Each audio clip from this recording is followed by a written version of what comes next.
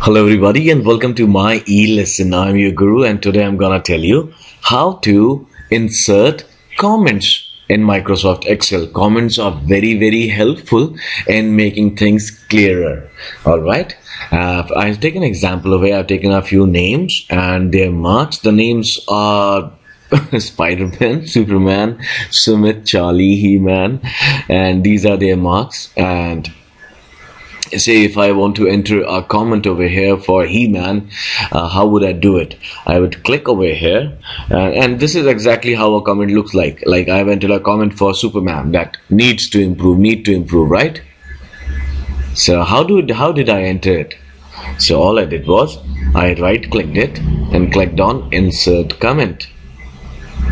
Automatically this window would open up and you can write a comment over here. Excuse me.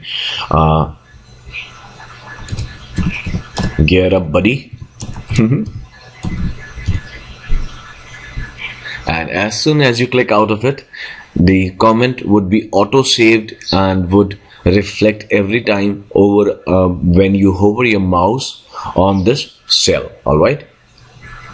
Even if you click upon it then also it would be visible or if you just hover your cell over the over your hover your mouse over the cell it will still be visible all right?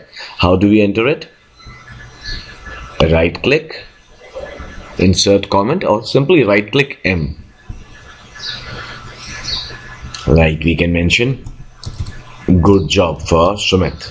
Alright now we can make them permanently visible also. How?